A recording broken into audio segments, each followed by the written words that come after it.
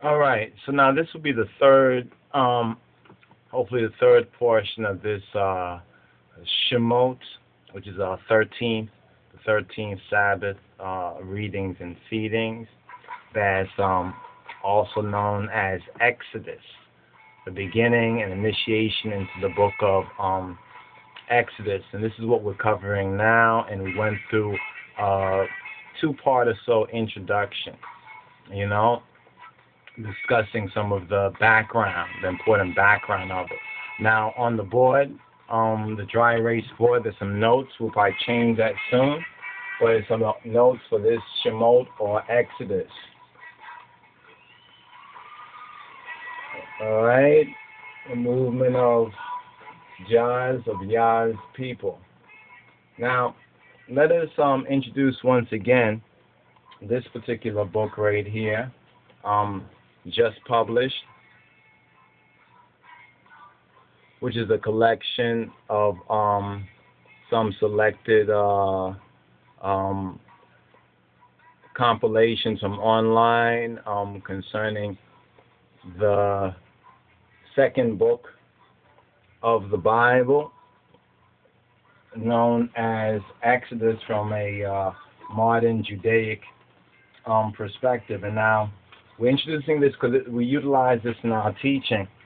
Because we find that um, it's it's it's very basic, but it's very academic, and from there, discussions, you know, about this, even from an Ethiopic or Black Hebrew perspective, can be initiated. Now, this is Shemot, um, which means names. It's the second word, the first distinctive word of this portion, which is the 13th weekly Torah portion in the annual Hebraic or Judaic cycle of Torah reading, and it's the first in the book of Exodus.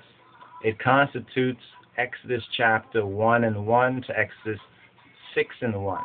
Now, Hebrews, we are the black Hebrews, and uh, faithful Jews in the diaspora, they read it in the 13th Sabbath after the Simchat Torah, generally in late uh, December or January. And so this is this is early, comes early now in um, January because we're in this particular cycle of the so-called Western calendar. So the 13 and the 13 is a little like uh, interesting um, uh, correspondence there that I think is noteworthy, and I noted that earlier. But now the summary of this portion, from which is to be read and, and studied if possible, um, from Exodus chapter 1, verse 1 to Exodus chapter 6, verse 1, and much is contained in that portion. There is, there's, uh, I've, you know, I've studied this portion and taught on many aspects from here.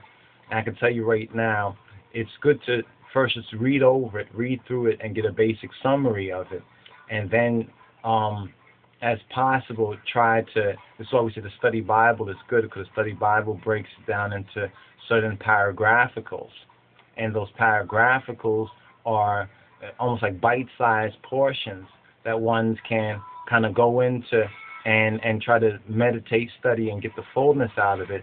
So when they put it all together, when you put it all together through, sometimes it might take it might take a year just to get through the entire Torah, and we're now in maybe our third or so year of um, this sort of a discipline way of of of of of uh, reading and study and also teaching and sharing of this.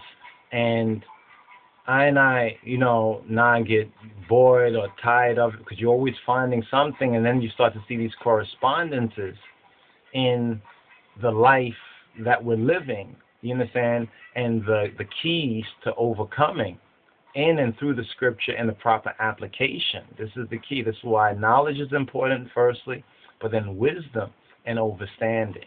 And the book of uh, Proverbs is another excellent book that I would say all disciples should study the book of Proverbs. And we have, excuse me, the book of Proverbs in a, in a, in a parallel Bible version where there's the Amharic, the Royal Amharic of Haile Selassie's Bible, of the Emperor's Bible uh, in one column, and in the other column, the King James Version. So for those who would endeavor to um, um, improve their literacy, Amharic literacy, and even study certain things, it's, it's a good study. We, we hope to, you know, demonstrate how that book and how that form of study can be utilized, both in independent as well as um, um, community or congregational, you know, and gatherings of brothers and sisters, but also individually as well.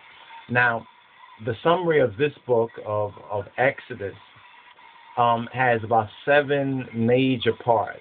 Some might divide this in, in more portions, but it has like you could say seven major, um, seven main scenes. I like to consider it sometimes like not like a movie, but in that way where you're seeing it more you know, you're seeing it, um, we're using your your imaging, you understand, to see it in spirit and in truth, um, and various applications using that computer that the Almighty gave you, and and a lot of our imagination we don't utilize the way we should, and we're being pre-programmed, you know, through a lot of this, a lot of this um, subliminal suggestions and other things out there and mind control to to think uh, think differently than um, the way we should as sons and daughters of the King of Kings and His Christ. So we have to, you know, keep that in mind. Um, so the summary of Exodus right here is um, the seven parts is one, the affliction in Egypt. There was an affliction, just as I and I people, the once lost but now found black sheep, and many of us right now are going through various tribulations and afflictions.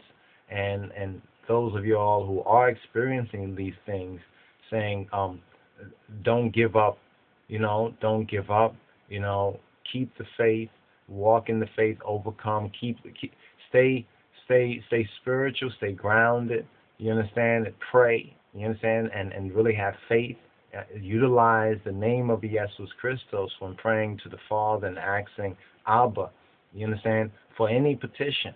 Remember, it's, it's very, it's one of the keys, and, and His Majesty even teaches us this, you know, in His um, gospel and His good news. He also teaches us the same. So it's very important for us to keep that in heart as well as in mind. Now, so the affliction in Egypt, and we're in a spiritual Egypt. So you can put that up there, spiritual Egypt. This is presently a spiritual Egypt, what we're experiencing and what we've been experiencing. And there's a lot of you know, there's a lot of signs. If we were to do this in a video form, or if anyone wanna, you know, cut and edit this, I mean, you can show a lot of signs of how this is spiritual Egypt we're in. So as we're in this book of Exodus, when we say it's a, it's an initiation, initiation into repatriation, initiation into redemption, to coming out of Babylon, it is that preparatory tool.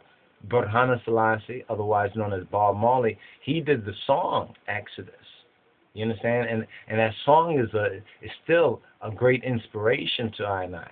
But when we connect that that spirit, that inspiration with the true groundation of the scriptures, you understand? Um, then we'll get to overstand. Then we'll be begin to. Then we can even begin to have good hope because then you get to see the full picture, the reality of what's going on. So, the affliction in Egypt is the first part. Then baby Moses is the second. Thirdly is Moses and Midian. This is now um, there's some scenes in between as well, but the fourth part is the call of Moses when Moses was called. The fifth is circumcision on the way. Um, the sixth is meeting the elders when he met with the elders. And the seventh is Moses before Pharaoh or Pharaoh, before he was before Pharaoh, right? So we have these um, seven parts. So let's try to deal with the first portion of this. And what we're going to do, um, since we just actually um, are looking at the copy of this particular book right here, which is known as um, the Shemot, you understand? The second, the Torah portion, the second Torah portion of the Hebrew book of, of Exodus right here, which has some of the um, modern uh, Jewish, um, modern day Jewish uh, um, editorials, but some of them are very interesting. Um, it says 70 descendants of Jacob. So this is the affliction in Egypt. That it began off with 70 descendants of Yaakov. They came down to Egypt, and the Israelites were fruitful, and they filled the land. That's Exodus chapter 1, verses 1 to 7. Now Joseph, or Joseph Iusif, and all his generation died, and a new Peron or Pharaon arose over Gibbet or Gibbet, the the, the you understand, or Coptos land or Egypt, who did not know Joseph. He did not know Iusif. Exodus uh, chapter 1, verses 6 to 8. He told his people that the Israelites had become too numerous and required shrewd dealing, lest they multiply and in a war join Egypt's enemies. Exodus chapter 1, verses 9 to 10. Now, that's also very interesting.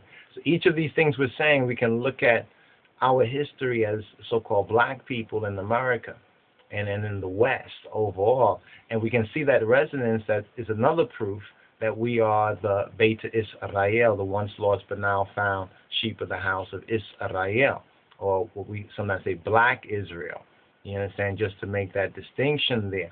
But it says, so the Egyptians set taskmasters over the Beta Israel to afflict them with burdens. And the Beta Israel built store cities for Peron or Pharaoh, Python or Pithom, and Ramesses. But the more that the Egyptians afflicted them, the more they multiplied. Exodus chapter 1, verses 11 to 12. The Egyptians, or those, quote, Egyptians, embittered the Beit Israel's lives with hard service in brick and mortar in the field. Exodus chapter 1, verse 14. Now, that's just one portion right there. And, and that, even in itself, contains so many points of resonance. You know, so many points of resonance. For example, um, they went down to Egypt. Now, how, how would we interpret this in our present experience and in our present history? How, uh, what's the resonance there? What's the going down to Egypt? Well, first of all, what is spiritual Egypt today? That's the first question. We have to first of all identify.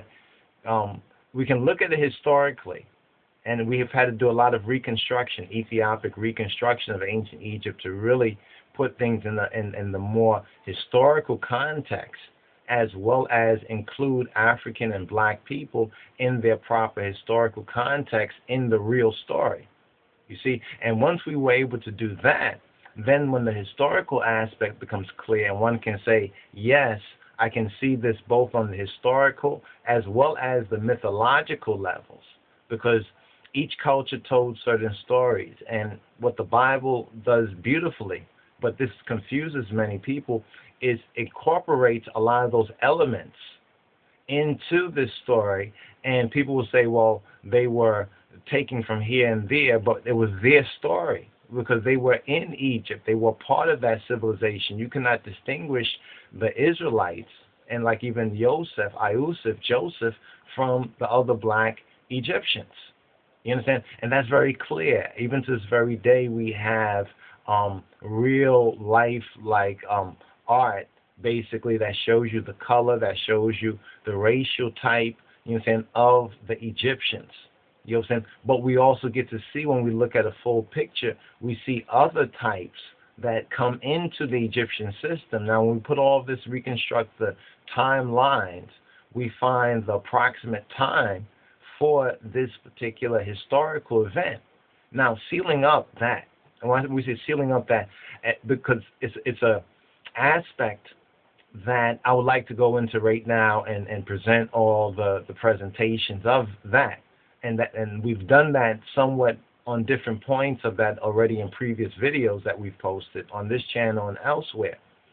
However, what I think is more important, seeing the time that we're in and redeeming the time that we're in, is now to look at it in the prophetic sense, look at it in the spiritual sense, as this being a a kind of a template, you I'm for this present time of coming out of spiritual Egypt or out of overall Babylon. Because when we look in the so-called real world, you know, this world order, you understand, um, white supremacy, Gentile, world domination order that's been dominating for past, you could say, um, 400 plus, but maybe roughly 400 plus, uh, less than a thousand or so years. You understand? But even longer under the the Greco-Romantic and the the Romano-Greek civilization. That would take us back about 2,000 years. Then we come to the Christological period. You understand? And now this is far older than that, but this is, is a template. There's keys to this that we can see even presently. For example, going down to Egypt, we see quintessentially DC as Egypt.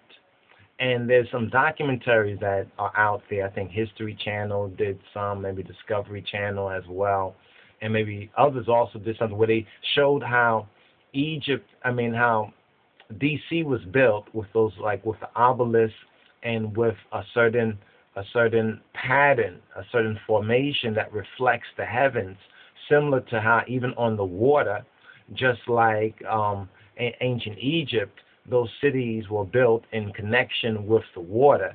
And it showed in the sense that, that Egypt was a part of that, and even through the Masonic, the Freemasonic link, when you start to study the Freemasonic connection with DC, and then Egypt's connection with their um, mythology or religion, the Freemasonic and, and Luminist so called religion. So you begin to see that Egyptian aspect, another aspect of Egypt, because Egypt was like we, we say America. Many people say around the world that they they they like American, they like American movies, but they hate American politics or stuff like that. So even they can look at America and distinguish the the people to some extent and and and the entertainment and music and stuff like that and like that embrace that but not embrace America in the sense of its politics or its foreign policies. So I want you to keep that in mind when we're looking at even ancient Egypt. See, a lot of folks, when they look at ancient Egypt, they don't look at it in the reality. So if you look at America today, people around the world, some people and peoples in certain places, they like um, the people of America and they would even like to be, quote, American, but they hate the politics. They don't like what America has done around the world from, from a political sort of view. So America can be seen in those distinct ways. So Egypt in ancient times also needs to be under, it needs to be understood that Egypt was the same way. In fact, Egypt was quintessential in that aspect that um, you had these differences that on the surface of